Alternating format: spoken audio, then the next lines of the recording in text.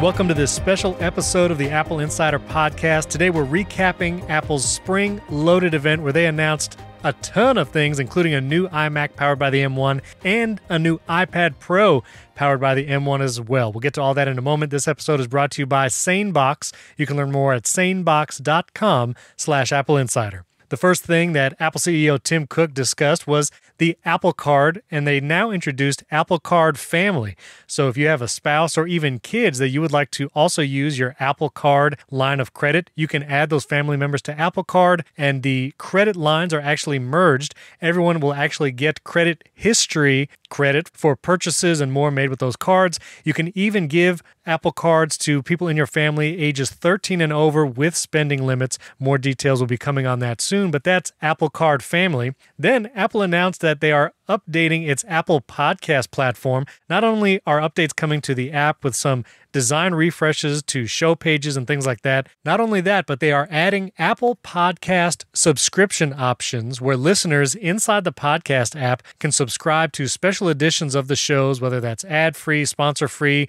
bonus content, and more. We'll be getting more details on the Apple Podcast subscriptions. You know, we just launched our Patreon where you can support the show, patreon.com slash Apple Insider. But we will be letting you know on this Friday's episode when we go more in depth on these topics what that podcast subscription service means for us here at Apple Insider. Apple spent a moment talking about the iPhone 12 and they actually added a new color. Purple is coming to the iPhone 12 line. Didn't look like the Pro, just the regular iPhone 12. And you can pre order that new color this Friday. It will be available April 30th. Then the long awaited and much anticipated AirTag was announced. They call it Singular AirTag, but it is Apple's location tracker device. It looks like that little tag, round, circle, the renders that you've probably seen online, that's pretty much what it looked like. So AirTag finally real. It comes with different accessories like keychain accessories that you can attach to backpacks or other devices. It has features like precision finding, where if you have an iPhone with a U1 chip, it will actually point your phone and show you an arrow on screen on where to find the AirTag location tracker. The tracker also has a built in speaker, so it can make a pinging sound if you need to find it there. And notably, it actually has a user replaceable battery. They say the battery lasts about a year, but then you can actually replace it yourself, which is pretty cool. You'll be able to buy one AirTag for $29 or four for $99. AirTag will be available to order Friday, April 30th. The special event then moved on to a new Apple TV 4K model. Apple actually updated the hardware of the Apple TV. They still call it Apple TV 4K, but it is now powered by the A12 Bionic chip. So, good spec bump there. It now supports HDR video in high frame rate, like 60 frames per second, and they're updating the AirPlay spec to support that high frame rate HDR. So if you have an iPhone 12 and you've captured HDR Dolby Vision content on your iPhone, you'll be able to AirPlay that to your new Apple TV 4K and actually see it in HDR at that higher frame rate. They've also introduced a new color balancing tool where you can hold your iPhone up to the TV, and the iPhone camera and other proximity sensors can actually help calibrate the color on the Apple TV to get the best color out of your TV possible. But what's an even bigger deal is the Siri remote has been completely redesigned. The new Siri remote is actually all aluminum. They have brought back physical touch buttons, a five way directional pad up at the top where you can click up, down, left, right, and center. And it still includes a touch surface where you can swipe left and right on that top part of the new Siri remote. Plus, they've added a jog wheel touch feature. So if you want to scrub forward and back in a TV show or movie, you can actually just iPod click wheel style go around that circle at the top of the Siri remote. Really cool feature. It looks like a great redesign. Plus, there's now a dedicated power button and mute button that can control your TV. The Siri button has actually been moved to the side of the remote, much like an iPhone. And you can actually buy this Siri remote separately for $59 if you'd like to just use the new Siri remote with your current Apple TV. The new Apple TV 4K comes in two sizes 32 gigabytes and 64. The 32 gigabytes is $179. The 64 gigabyte is $199. You'll be able to order this on April 30th, and it's available the second half of May. Now, before we get to the brand new M1 powered iMac and iPad Pro, I want to tell you about our friends at SaneBox. Listen, we all deal with a ton of email all the time, and a lot of that is spam or just emails that you don't need to deal with. Inbox Zero, it's a thing of the past because we're so inundated with all the email, and it's no longer about responding to everything, it's about responding only to the important things. How can we surface the emails that truly matter? That's where SaneBox comes in. Think of it as an EMT for your email. As messages flow in, SaneBox does the triage for you, sifting only the important emails in your inbox and directing all the other distracting stuff into your Sane Later folder. So you know that messages to pay attention to now and the stuff you need can be right there in your inbox. You'll see that first, and all the other stuff you see later on. It's got nifty features like Sane Black Hole, where you can drag messages from annoying senders you never want to hear again, and Sane Reminders to ping you if someone hasn't replied to your email by a certain date. Best of all, you can use SaneBox with any email client or phone anywhere you check your email. See how SaneBox can magically remove distractions from your inbox with a free two-week trial. Visit sanebox.com slash Apple Insider today to start your free trial and get a $25 credit. That's S-A-N-E-B-O-X dot com slash Apple Insider sanebox.com slash Apple Insider today to start your free trial and get a $25 credit. Then Apple announced the brand new iMac powered by the M1 chip. They only announced one size. This is a 24 inch redesigned iMac. It's got a brand new hardware design. The screen is very much reminiscent of an iPad Pro, although I will say it still has that chin at the bottom of the front side of the iMac, like older models, but the screen is definitely a lot thinner and the stand is almost reminiscent of the Pro Display XDR stand. So it's powered by the M1 chip. It's a 4.5K monitor, 24 inches. Pricing starts at $12.99 for four of the colors. That's the other big thing. It comes in seven different colors, but only four of those available at the $12.99 price point. That's $1,299.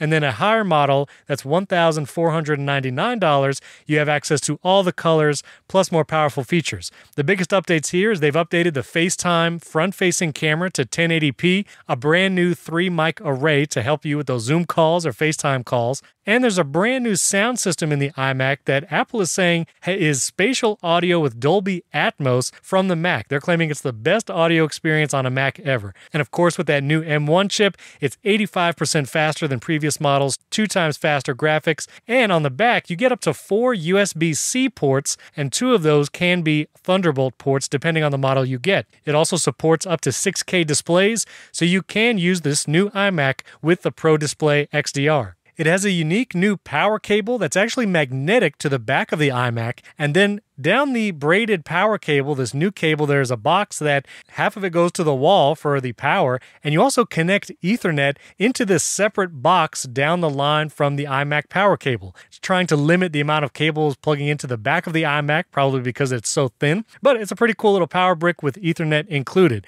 But one of the coolest features is there's brand new Magic keyboards and Magic mice, all in the seven different colors to match this new iMac, and Touch ID is now wireless on the smart keyboard. So these new iMacs, you can get it with a Magic Keyboard, either with the number pad or without, and there is wireless Touch ID. Long time coming there on the iMac. The colors come in a green, yellow, purple, red, orange, blue, and white. More like pastel shades of colors, but it looks pretty cool. You can see a picture of it as the chapter art here right now. And again, the colored accessories like the Magic Mice, trackpad, or keyboard will match the color iMac that you get. Again, that's $12.99 for the base model, $14.99 for the higher model, and that will be coming April 30th. You can order it. And then the final announcement of the event, this was definitely a loaded event, as Apple was saying, is a brand new iPad Pro, not powered by an A series chip, but the M1, the same chip that's in the MacBook Pro, Air, Mac Mini, and now the new iMac, is in the new iPad Pro. So we have an M1, the 8 core CPU, 8 core GPU in the new iPad Pro. It has two times faster storage, and you can configure the new iPad Pro up to two terabytes of storage. That's a huge iPad. And the connector, as the rumors were saying, the connector now has Thunderbolt and USB 4 support, so you can get super fast data transfers. And 5G cellular connectivity has also come to the iPad Pro. There's a new 12 megapixel camera on the front. What's interesting is this new camera, it's 12 megapixels, ultra wide, and they have a new feature called Center Stage. So if you're on a FaceTime call, presumably it will work with other third party apps, but if you're on a call using that FaceTime front facing camera, it will actually follow you around the room. And because it's an ultra wide camera, if you move out of frame, it will actually reframe the shot to keep you in the screen. And if a second person enters the screen, it will zoom out to include both people. Pretty cool. That's called the center stage effect. And as the rumors were saying, the 12.9 inch only, so just the larger model iPad, gets the Liquid Retina XDR display. That's Apple's term for mini LED. It is a mini LED display. Apple said 10,000 mini LEDs are powering this screen, 2,500 local dimming zones. Again, they're calling it their Liquid Retina XDR on the iPad. They spent lots of time saying that this screen is just incredible. We did not see a new Apple Pencil or new style Magic Keyboard, but there is a new color for the Magic Keyboard. So if you'd like to get the Magic Keyboard in white, that's actually available to you now. But no new pencil. The previous model Apple Pencil still works with this, nothing new there. And the previous Smart Keyboard works with these new iPads as well. If you want to get the 11 inch, that's 799. If you go with the more expensive 12.9 inch model with that mini LED screen, that starts at $1,099. I also saw in one of the slides Apple is claiming up to 16 gigabytes of memory. I'm assuming that's RAM. It doesn't look like that's a configuration option on the website right now, so it might just be 11 versus 12.9 inch models, but we'll have more details on that soon. You can order the new iPad Pro powered by the M1 chip on April 30th. Apple said it will be available the second half of May.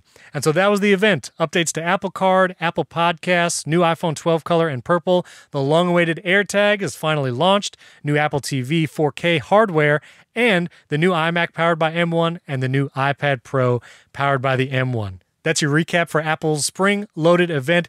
Tune in this Friday as we dissect even more some of the details about all these announcements. Don't forget to check out our friends at SaneBox at sanebox.com slash Apple Insider. You can support the show directly right now at patreon.com slash Apple Insider, where you can get ad-free episodes. I'd love to hear what you thought of the event. You can tweet at me at Stephen Robles. My Twitter handle is in the show notes. You can click right there, follow and tweet at me. Are you going to be getting that new iPad Pro, iMac, something else, AirTag maybe? And if you haven't yet, we would greatly appreciate a five star rating and review in Apple Podcasts. Thanks for tuning in. We'll catch you this Friday as we dive into even more details of the Apple event.